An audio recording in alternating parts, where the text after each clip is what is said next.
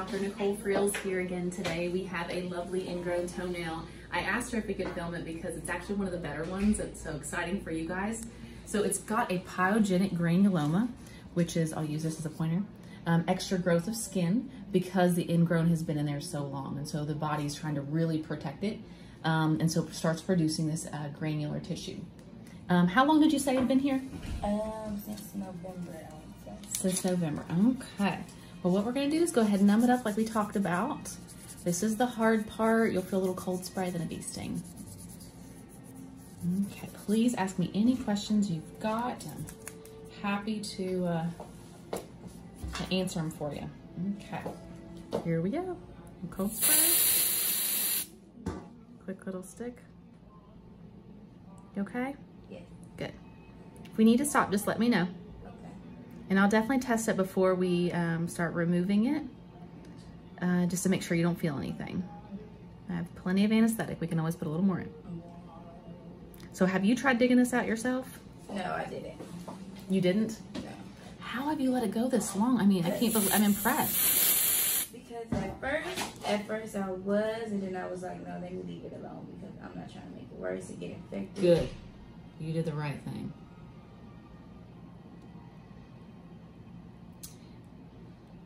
Now with this one, uh, my other foot, Mhm. it was having a like pus was coming out of that one Ooh. on the side, so I was squeezing that one with that one. How long ago was that? Because it looks so much better. Um, like a week ago. Really? Yes. Doing good. This is the hard one down here.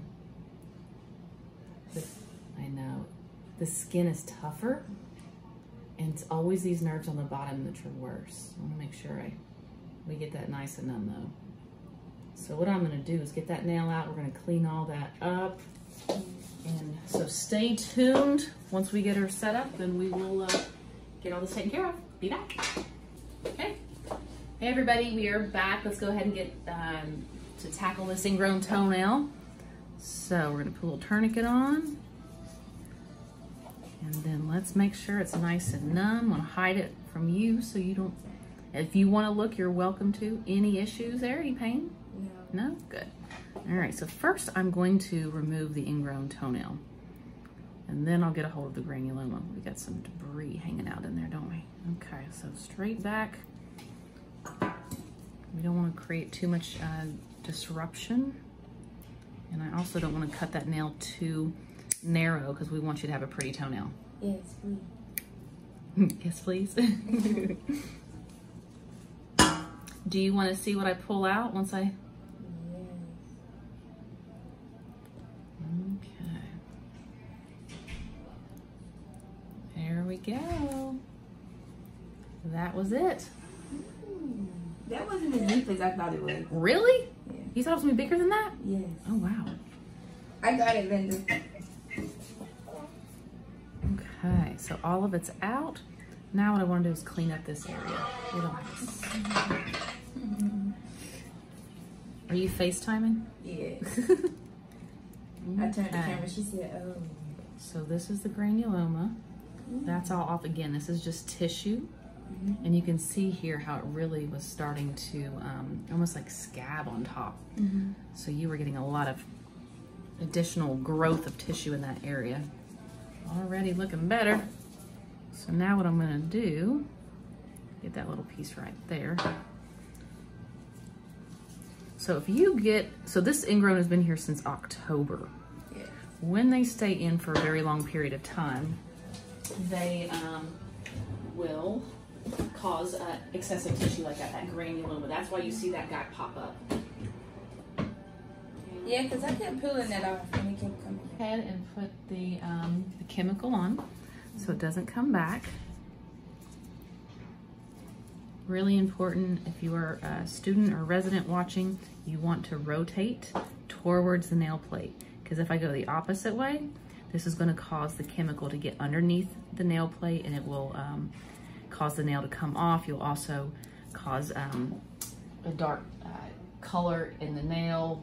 It'll just cause it almost, I mean, because you're killing the root of the nail all the way back here. So if you get it in an area you don't want it, that nail's not going to grow in that area. So we want to make sure we keep them nice and pretty. Okay, almost there. Now, do you have any questions about how to take care of this once you get home? Um, so I'm not getting a nail tip, so Orgel, I mean, not Orgel. The Amer Neosporin, sure, put that on there and then cover it um, with a band-aid. What about peroxide? Um, you don't need to do anything to the right side. Okay. The peroxide. Oh, peroxide, no peroxide. Peroxide. Peroxide will actually kill the good cells that are trying to heal the area. They kill the good and the bad. And a lot of people use peroxide. So it, on our instructions, we always say, do not use that. So now I'm gonna silver nitrate those corners. One recommendation I would have for you is to definitely trim your nails. Um, they're really quite long. And so what's happening is this is pressing up against the shoe and it's uh, can cause you to have an ingrown toenail. So definitely get those back there a little shorter for me. What I recommend is um, about a millimeter of the white stuff on the tip. And if you need any help in uh, learning how to trim your toenails, we have another video specifically on properly trimming toenails on our channel. So Because sometimes people Okay. say don't trim straight across.